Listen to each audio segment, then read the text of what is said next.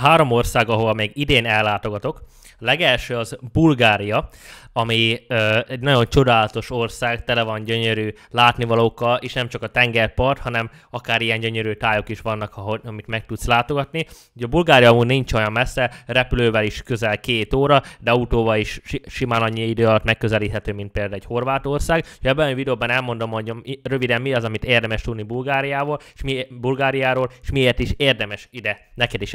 ellátogatnod.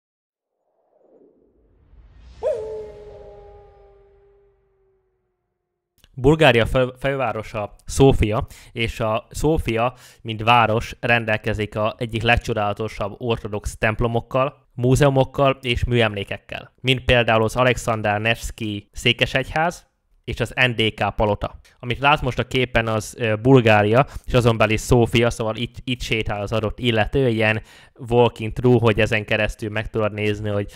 hogyan zajlik a, a, a város, mit ilyen Londonban is szokott lenni, úgyhogy ha beírhat például Walking in Sofia, vagy London, és így tovább, akkor ezen keresztül sok ilyen érdekes videót fogsz tudni találni. Ezeket nagyon szeretem, meg lehet látni hogy a, a videóból, hogy tényleg a, a város hogy is néz ki milyen üzletek vannak, milyen elrendeződésben,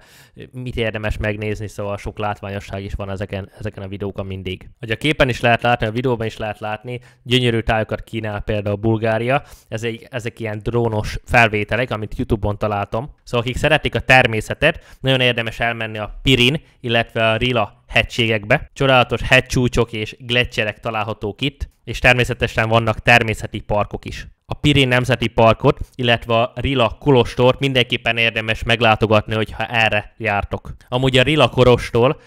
a világörökség részét is képezi.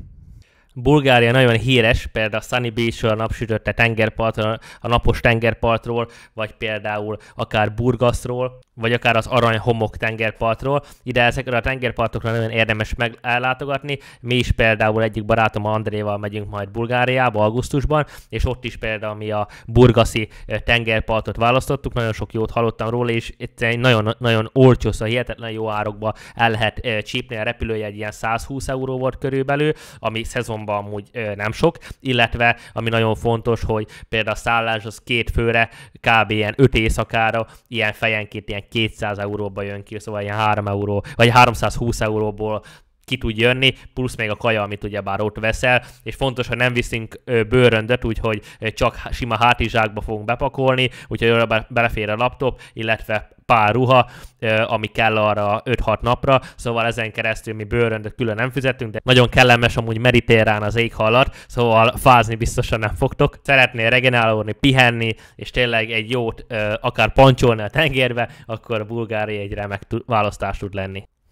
Amúgy Bulgária nagyon híres a gasztronómiáról is, azon belül is ezek tradicionális uh, bul- bolgár kajákról. Bulgária amúgy nagyon híres az autentikus balkáni konyhájáról. Vannak nagyon remek uh, bolgár ét- ételek, mint például a sült sarma, vagy más néven szarmá, a bolgár jogurtot is érdemes megkóstolni, illetve a széles választékba kapható sajtokat, szalámikat, hogyha szeretsz ilyeneket, ha nem vegán vagy, akkor nagyon érdemes ezeket megkóstolni. És nem mertünk el elsősorban például Bulgáriából a kedvesség mellett. Szóval nem voltam még ott, most megyek először, de amit nagyon sokat hallottam arról, hogy a bolgárok azok nagyon kedvesek, vendégszeretőek, ugye alapból rengeteg turista jár a tengerpartokra, és szóval hozzá vannak szokva ugyanúgy, mint a, a, a horvátok. Szóval látogatóként, hogyha mész különböző városokba,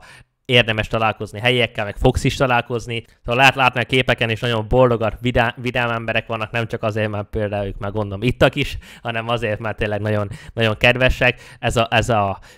ezek a hagyományok, illetve így van beletáplálva a géneikbe is, hogy tényleg mindenkivel így kedvesek jó fejek, illetve ami nagyon fontos, hogy például, ha különböző helyekre is mész, ugye mindenképpen helyiekkel fogsz tudni találkozni, érdemes velük beszélgetni, ugye nem is tudsz bolgárul, de tudsz például angolul, úgyhogy érdemes velük például beszélni, és sokat tud szerintem adni, hogyha mindig különböző helyekre megyünk, és mindig különböző emberekkel megismerkedünk, úgyhogy én is ezért szeretek így világot látni, nem sokszor volt rá lehetőségem, de utóbbi egy évben elkezdtem azt, hogy ezért minél több helyre igyekezzek elmenni, minél több kultúrát, minél több embert meg tudjak ismerni, és ezen, ezen keresztül mindegyik kultúra picit más, mindegyikben megvannak a saját maga hagyományai, de rengeteget tudsz belőle fejlődni, emberileg is sokkal kinyílik számodra a világ, és teljesen másképp tudod nézni, hogyha ellátogatsz különböző országban is, voltam most ugye Dániában, gyönyörű volt, és sokat tanultam belőle, nagyon, nagyon jó élmény volt, és lehet látni, hogy mennyire mások ott a, az emberek, és így is lehetne élni ennyire zölden például az Európa többi országához, vagy az Unió többi országához képest. Iratkozz fel, hogyha még nem tetted, mivel hozok majd egy következő videót, ami majd a másik részben egy nagyon különleges országról fog szólni, ahol angolul beszélnek, oda is megyek az idei évre, nem is rövid időre, hanem ez egy ez hosszabb kis trip lesz, úgyhogy erről is majd be fogok számolni időközben a csatornán, viszont pár szóban meg is fogom említeni azt, hogy miért is érdemes ebbe az országba ellátogatni, úgyhogy fel a következő videóba is, nyomj egy lájkot, és iratkozz fel!